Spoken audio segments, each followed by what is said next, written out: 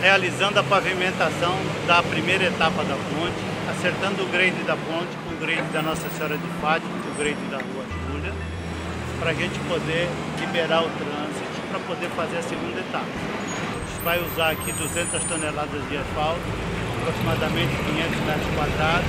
A ideia é a gente liberar essa ponte o mais rápido possível para poder começar a etapa 2. Para mim poder começar a etapa 2, eu tenho que desviar o trânsito dessa ponte e fazer as demolições e as, as obras da etapa 2. A ponte ela está sendo ampliada de 8 para 30 metros. Ela faz parte do, do sistema viário que vai interligar a Júlia Ferreira e a Zeonor, a Beira Rio, a nova avenida, a ponte do Rio São Jorge, chegando ao São Manuel e interligando a Enxerga. Dessa forma, vai desafogar o trânsito da Nossa Senhora de Fátima.